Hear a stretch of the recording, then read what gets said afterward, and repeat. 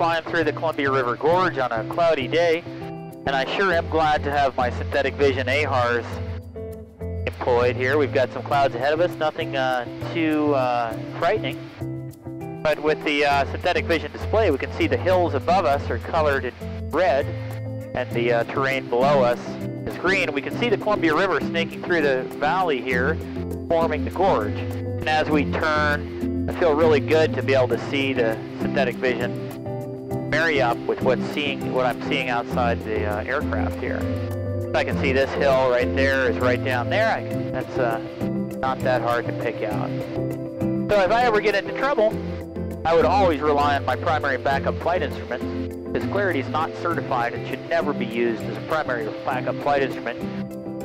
That said, situational awareness that this provides, flying at night and in poor weather, makes me feel a lot better about flying around in a steam gauge aircraft like this beautiful 1964 Cessna 182. So I'll just kind of do a couple of maneuvers here.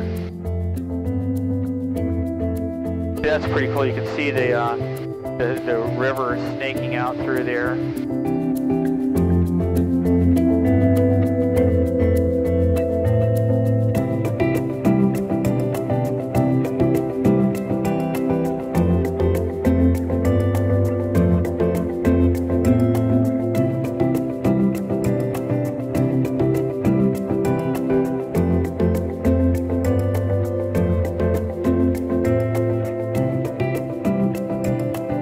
The synthetic vision display showed me hills at 12 o'clock.